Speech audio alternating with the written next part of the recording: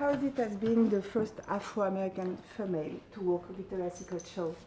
Uh, it was like a dream, and uh, I was so happy to be able to make a difference. You know, I guess each one of us should embrace our own beauty.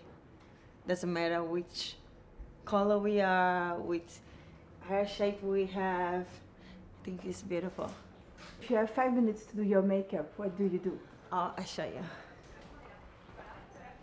This is everything I use now. And start, my favorite lipstick is the Matte Addiction 347. And I'm wearing now the 363. But also, the Volume Million is perfect for my eye, eyelashes. I love to, to use them every day to put my lashes bigger. I can always do a little touch up on my eyebrows with colorist. Very simple in the morning. I don't need much.